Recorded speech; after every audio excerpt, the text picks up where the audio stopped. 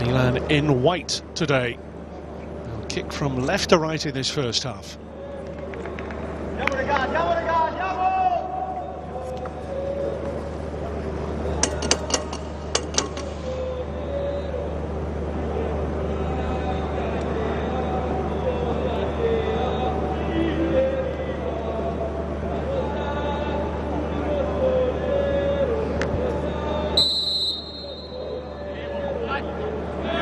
So Milan in white here on the offensive straight away, going for potentially the fastest goal ever.